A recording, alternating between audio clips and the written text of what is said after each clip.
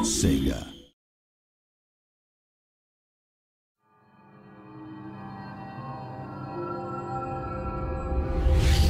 Long since erased from the records of time, there once existed two European clans who served as overseers of history for the powers that be.